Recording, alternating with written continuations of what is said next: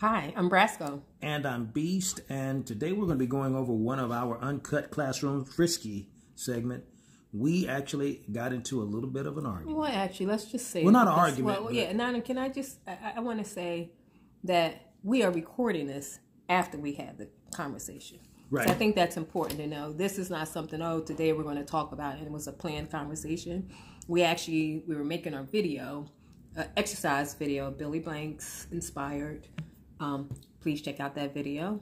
Subscribe if you like it. Oh no, subscribe if you like it. Like it and don't forget to hit the bell. As a side note. Um, but we got in. I was very impatient. I was getting, and we got into a little something or not. I don't know, babe. You tell me how you felt about it. I just know that I was impatient and I wanted to apologize to him. I feel the best thing is just to go to the video. Go. Oh yeah. Why don't you add the video in here? I will. And, and, and he'll show you. I'll show you. Brasco and Beast. Fit, fabulous, and frisky. I, I can't. I can't direct you and argue with you at the same All right, time. come on, I- let's go. if I'm directing you, I need you just, just, Okay. just, just trust me to do what I do. Is all I'm asking. I know. Okay? And you'll do this one. I'll do the next exercise one. Yeah, we, we can do. We can. All right, come on, whatever babe. you want. Let's go. I just want to move through it. Um, I get this is what people do when they actually are filming, like videos and model shoots. Yeah, that's just part of the process. You know. Okay, so here we go. Go right over there where you were. Yes, I got you. Okay. All right. You ready? You should move up a little bit because I'm not going to be able to kick. Thank you. Got it. You ready? Yes. This is the one thing we're doing. Just do it eight counts. One, two, three. I'm sorry, baby. I am. I, I, I apologize. I was getting short. We were trying to make the video, and I was being ready, and you know, my lack of, uh, you know, what do you always say about me? You say I'm impatient. No, I'm not saying you're impatient. Just I need to trust. You want me to trust you, especially knowing, you know, that you, you know, are expert in something. And I always want to know everything that I'm doing. Like I want to understand it. I want to know it before I jump in. yeah. And sometimes what I'm learning from our relationship is because I trust you, you haven't let me astray so far, and knowing that you're an expert in something in particular, I got to learn to, to go with it. And I think I get there, but I go along, you know, to. It takes a while for me to get there, but I could tell you were not frustrated. I was frustrated, and you were staying calm, which was very good. But I could tell by your like your facial expression that you were like, if she doesn't just let me handle this because I know what I'm doing. For example, the frame when you were telling me to come in the frame, you know, I'm like, no. Why do I need Oh, to come in the push-ups? frame? You mean for the? No, for Oh, what we were today? doing. Oh, I'm saying this is a conversation. This is this is related to today. I'm Yes, apologizing to you. Well, Are you are we on the same page? Uh, yeah, I accept your apology. I do. I know, but I think it, it's it's something that I just wanted to spend a couple minutes on to share with our, you know. No, I, I don't have a problem with that either. No, I don't have a problem with that. I, I just, I mean, it's just, just like I said to you previously, but like, I can't, I can't argue with you and direct, direct you at the same time. You know, it's just that, that when, when, when I, when I see something that would work, we got to try it. I think your, your desire to make everything perfect the first time can sometimes get in the way because creating is a messy process sometimes. You know? Okay. You have to read I'm just saying that that yes, I got you. creating is a messy process sometimes, and then sometimes out of the what is it? The, um, out of the chaos comes creativity. You know, like if you're at a studio and you're doing a song, you may start off with a certain beat and a certain rhythm, or whatever, and it may just morph into something else just because the feeling. You know, you always say that you're a, a person of rhythm, feelings, and spirits, and I'm all about yeah energy. Energy, energy, energy right? is my thing. Okay, so the energy of something is something that you can't bridle. You have to let it go for whatever it's going to do. right? Yes. Good or bad, you know. You, but but sometimes, but so so a lot of times, like if you if you if, if you if you try to set things up, if you become overly concerned about a process in which someone else is trying to direct you in, you'll gum up the process and mess up the whole flow of the whole thing. You know, in light of trying to understand this one section, like you know, um, no, the analogy I gave you was, you know, like uh, you could be a great basketball player by yourself. Even Jordan was, but when he learned from Phil Jackson how to pass the ball and trust Scottie. Now Scottie coming up also helped out, obviously. But when he learned to trust his teammates and to give the ball to Paxson or give the ball to Kerr and let them shoot that last shot when everybody's on them. Yeah, he could make a shot with three people on him, which is a high difficulty shot. Or he could trust his teammate and pass the ball right at the last minute where they have an open shot, which is a higher percentage of winning. We're not trying to win a game. We're trying to win a championship. In fact, we're trying to be repeat championships. You know, and I'm not. I don't. And I don't. I don't. And I don't. I don't want to belabor it. I don't because I, I hate when I when I do something wrong. I like to understand it and I let it go. Because I don't want to be. I don't want to be hammered after I say, okay, I get it. I don't want to be hammered. I don't hammer you. I'm not going to hammer you. I don't. I, I despise that tremendously. I despise, I despise being hammered, and I despise people who hammer people. Because to me, Why do you use despise? despise that because that's how I feel about it. I know, but you're talking to me. So I'm not saying I use despise you. I said I despise when people are like that. Right. I was about to elaborate on why. Okay. Okay, because what they they exemplify to me a very unforgiving spirit. To me, because it's like you did something wrong. I'm gonna tell you you did it wrong, and I'm gonna keep telling you. Do you understand you did it? You know you did it. Did you do it? All right, and then it, it's like, okay, because see what happens. It then becomes a well when the tables are turned. Typically, somebody that's like that don't want to be. You know, they say, okay, I get it. Get off of me. I get. But see, there's an impatience because there's always an imbalance in that type of a person because they they hammer, You're hammer, speaking hammer. directly to me, and you. No, I'm not speaking directly. I'm no, speaking, because you've told me before that I had you said something to me about the spirit of forgiveness, and Yeah. that's something that you think that from our conversations about different things that Mhm. that's something I have to work on, and I think I agreed based on our conversation Mhm. that I I don't think I I have a forgiving spirit. I think that I'm learning and I'm better, and Mm-hmm. I think through this relationship. I'm able to receive a lot of things about myself. and Some of that's coming with age and wisdom, and you know, pausing to, you know, listen to someone. Mm-hmm. But I feel like what just happened, you know, as we were doing our video, mm-hmm. a lot of it is about being vulnerable for me. Okay. You know, in terms of that trust. I get it, but when it impacts my life directly, I like to know how it's going to be done. I want to do it this way. I want to, because, you know, I like just in the work, I know how to delegate things. But even when I delegate, I'm delegating it based on my plan, which means if it fails, whether I delegated it to the wrong person, I'm fully responsible for it. For something like this, we're doing, you know, we're, we're taping our video.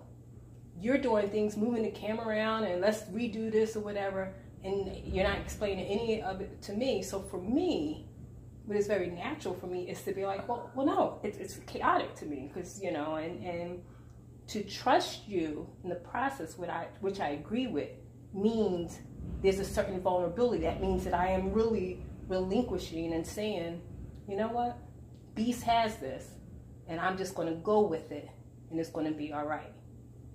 Okay. I I remember that conversation we had, right? And um,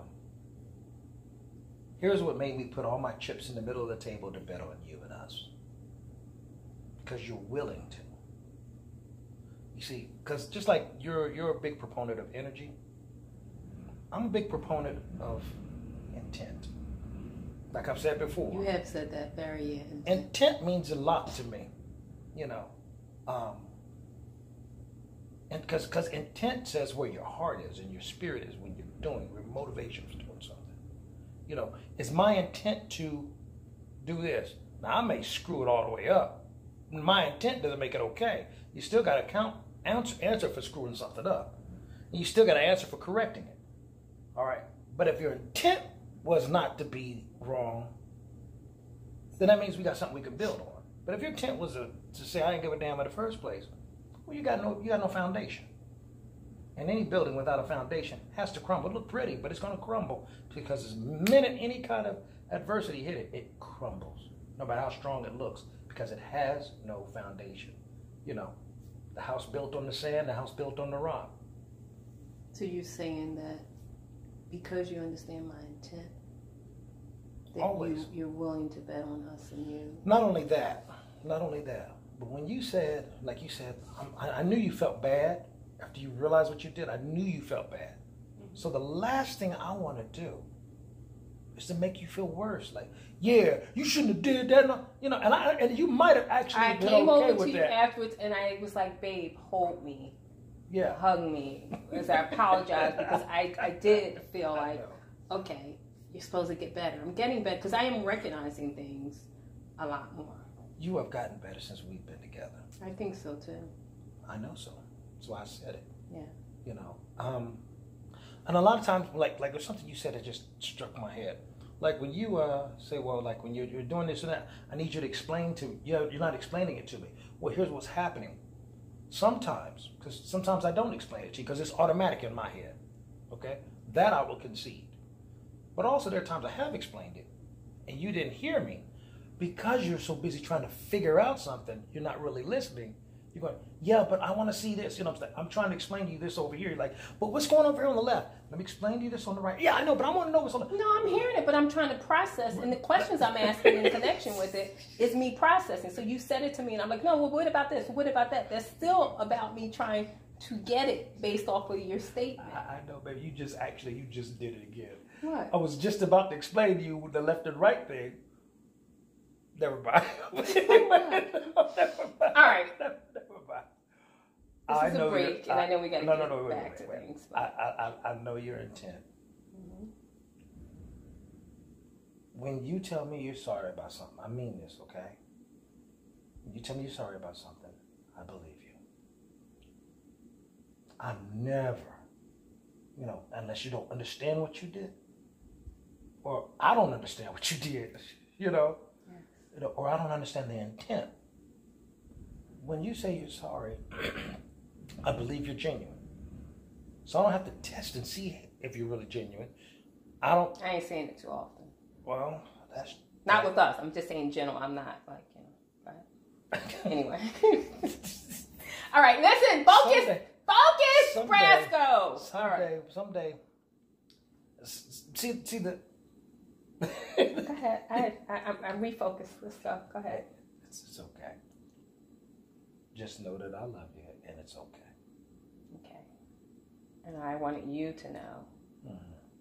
that I apologize, and I didn't want to, you know, not that we did it in past or I did it in past, but I wanted to come back over here as you were on the couch and just to reiterate. And I figured, hey, Well, you know, I'm gonna be honest. A lot of people don't like to confront the idea that they need to improve something about themselves.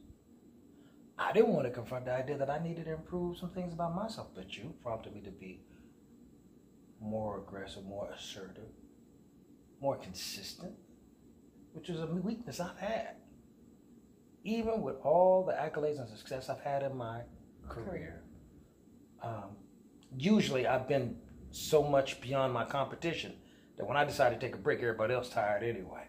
yeah, You know. But to be around somebody who push, push, push, push, push, push, push, and I don't see that as a bad thing. You know, I interpret it as a good thing. All right.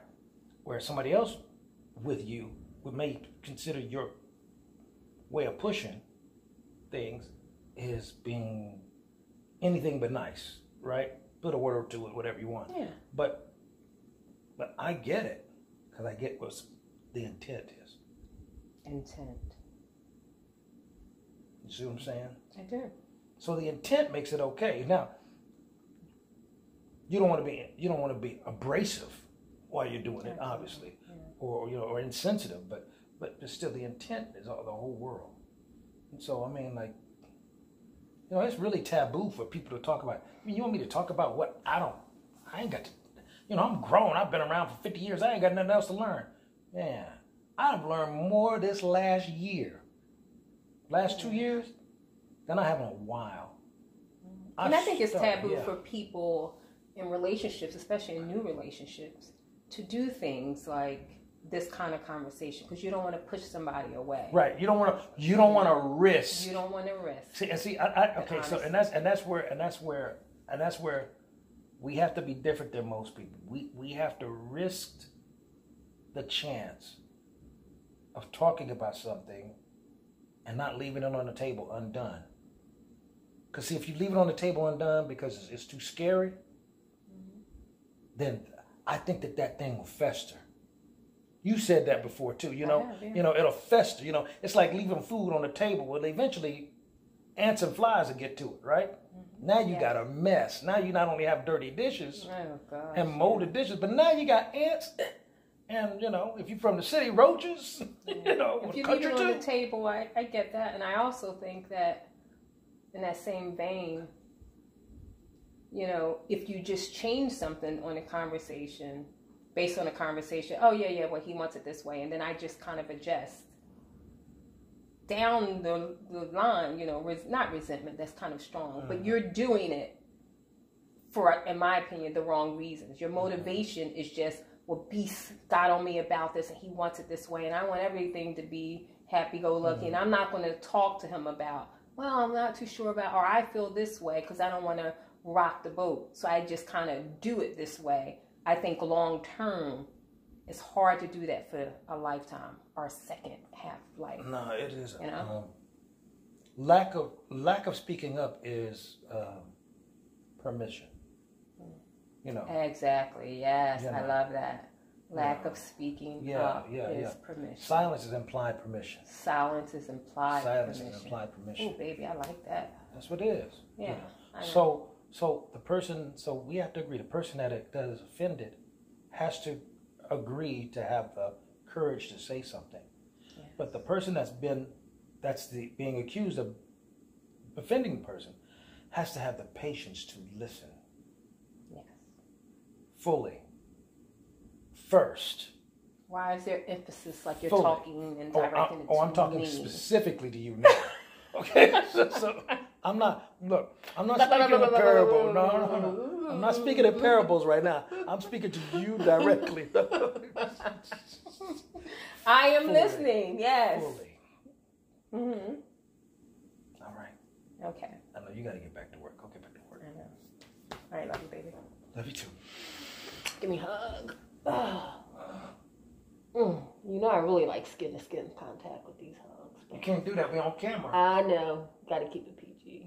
Mm.